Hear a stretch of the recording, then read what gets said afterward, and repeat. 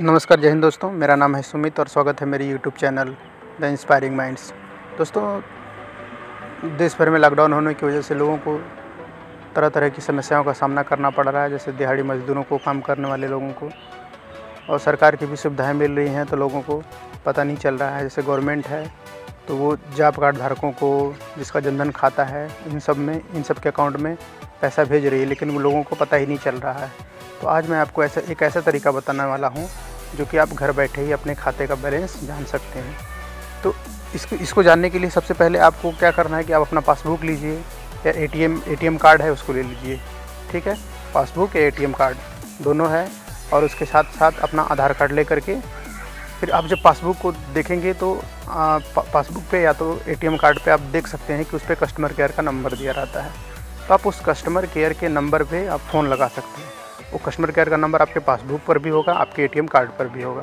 तो उस पर फ़ोन लगाने के बाद आपसे वो पूछेगा कि आप, अपना नाम बताइए अपना नाम बताएँगे। नाम बताने के बाद आप अपना, आपका जन्म तिथि पूछेगा डेट ऑफ़ बर्थ पूछेगा तो आप डेट ऑफ़ बर्थ बताएँगे।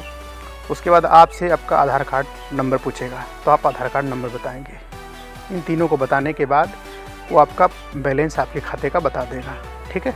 तो जैसे कस्टमर जैसे मोबाइल का पहले बैलेंस कट जाता था तो कस्टमर केयर को लोग फ़ोन लगा करके नहीं पूछते थे कि हाँ सर हमारा बैलेंस कट गया है। तो ठीक वैसे ही प्रोसेस है, ठीक है? तो उसमें आप ये क्या है कि सबसे पहले मैं आपको एक बार और रिपीट कर देता हूँ।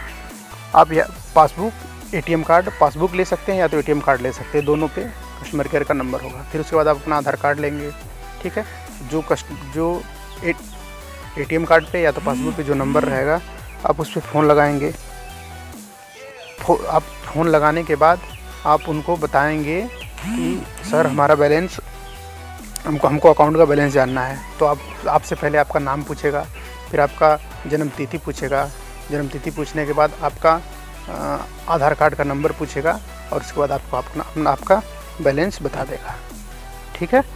तो आपको आप इस इस तरीके से आप घर बैठे ही आसानी से जान सकते हैं। दोस्तों और मेरे मेरे वीडियो के डिस, डिस्क्रिप्शन में आ, मैं सभी बैंकों के